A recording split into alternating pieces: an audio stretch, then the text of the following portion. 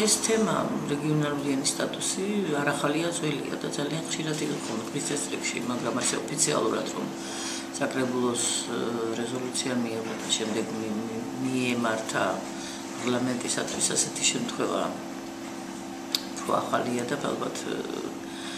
იშვიათი ეს მათ აქვთ უფლება დემოკრატიულ ქვეყანაში ყველას აქვს უფლება ასეთი რეზოლუცია მიიღოს საკრებულო იქნება თუ ადგილობრივ თვითმმართველობს რომელიმე ორგანო მაგრამ ფაქტი არის მეორე.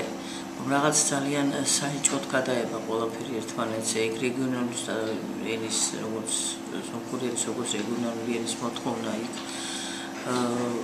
ჯავახეთში მიმდინარე სხვა პრობლემები და მე უფრო მგონია რომ ეს არის უფრო მეტად ინსპირირებული რაღაც პროვოკაცია რომელიც პოლიტიკურ ძალის წინააღმდეგ რომელი პოლიტიკური ძალის წინააღმდეგ ამას ნამდვილად ვერ გეტყვით. მაგრამ ყოველ შემთხვევაში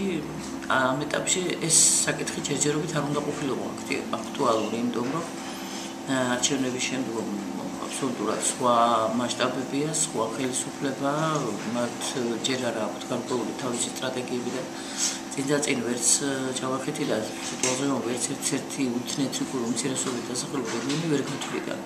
მათ სტატუსს მიანიჭებდნენ, არ მიანიჭებდნენ და იმის შეავთ ეკნებოდა თუმცა ეს ჯერ კიდევ დასავლაგებელი იყო და